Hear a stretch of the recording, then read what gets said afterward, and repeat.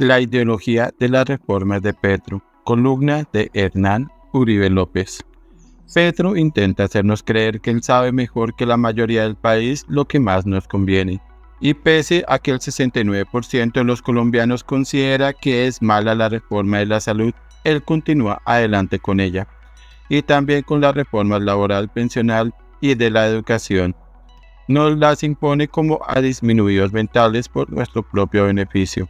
Pero, Petro realmente considera que el nuevo régimen que trae la reforma de la salud, por ejemplo, es mejor que el sistema actual?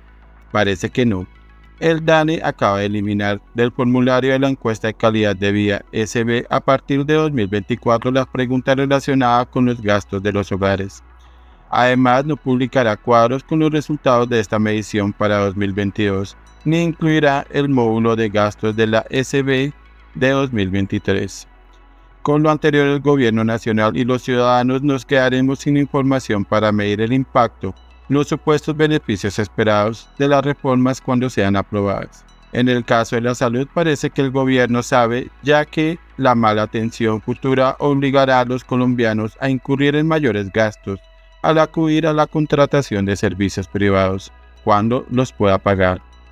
Para el gobierno será más fácil mentir si no hay estadísticas que lo refuten.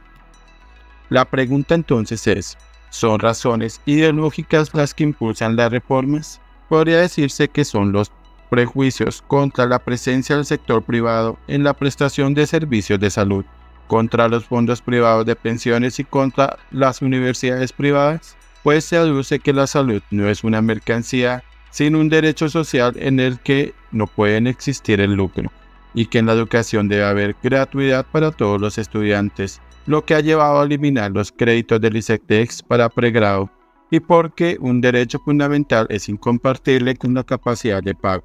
Para refutar estos motivos puede argumentarse que lo que el gobierno debe exigir de los prestadores de servicios son umbrales mínimos en la calidad y no prohibir el lucro. Garantizar el acceso a un servicio mejor en vez de buscar igualdad de acceso a servicios mediocres.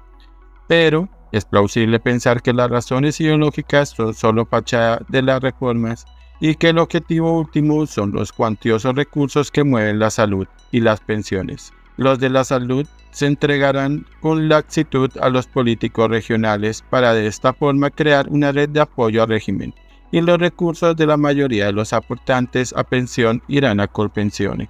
Mientras continúa el trámite en el Congreso de esta reforma se lanza el programa Jóvenes en Paz, sobre lo que Petro dijo. Serán miles de jóvenes a los cuales les vamos a pagar por no matar, por no participar en la violencia, por estudiar. Les vamos a dar una ayuda para que entren al SENA y a la universidad.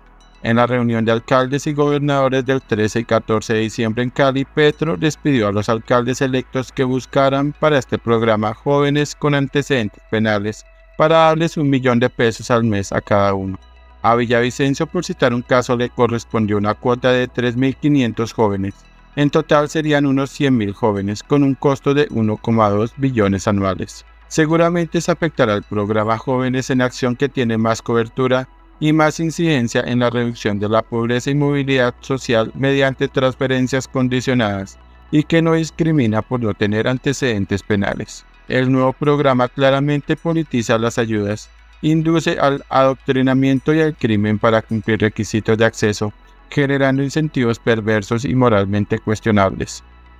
Y lo más grave de todo es que puede estarse forjando la creación de una nueva primera línea, que será la encargada de apoyar a un régimen cada vez más desprestigiado en un país en el que el 79% de la población considera que la situación está empeorando y simultáneamente la fuerza pública está cada vez más debilitada es la sustitución perfecta de una fuerza de control por otra.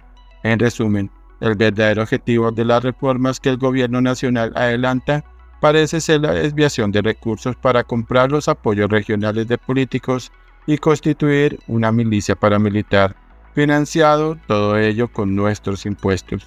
Cuando deseen feliz año recuerden lo que nos espera en 2024.